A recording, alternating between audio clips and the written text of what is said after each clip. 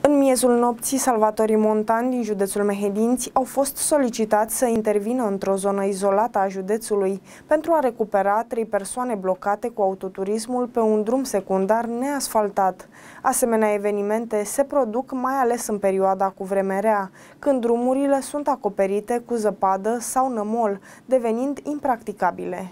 În sezonul rece se întâmplă tot mai multe incidente de acest fel, de aceea riscurile la care ne expunem sunt multiple. Hipotermia este unul dintre ele. Dacă suntem blocați și nu suntem echipați corespunzător, temperaturile scăzute ne pot pune viața în pericol. Astfel, în miezul nopții, salvatorii montani din județul Mehedinți au fost solicitați să intervină într-o zonă izolată a județului pentru a recupera trei persoane blocate cu autoturismul pe un drum secundar neasfaltat. Echipa Salvamont uh, Mehedinți a fost anunțată aseară în jurul orei 12 din serviciu 112 cu privire la faptul că uh, niște tineri au rămas uh, în zona de, de nord a județului Mehedinți pe un drum neamenajat, un drum forestier, blocați cu mașina o mașină neechipată corespunzător. Ne-am deplasat cu echipa de, cu echipa de intervenție formată din 5 persoane, Uh, două autospeciale, 4x4 uh, și uh, i-am, i-am găsit pe băieți, i-am scos până la, la drumul principal în Comuna Balta și de acolo și-au continuat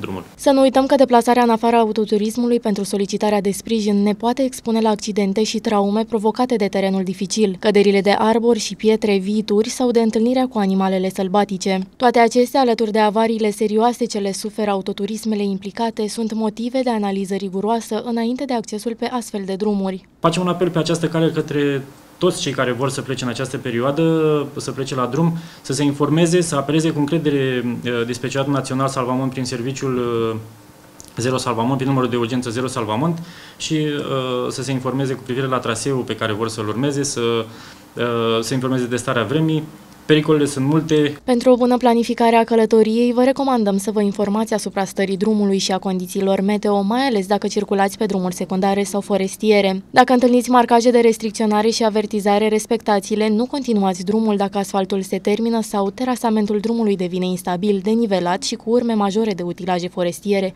ce îngreunează deplasarea.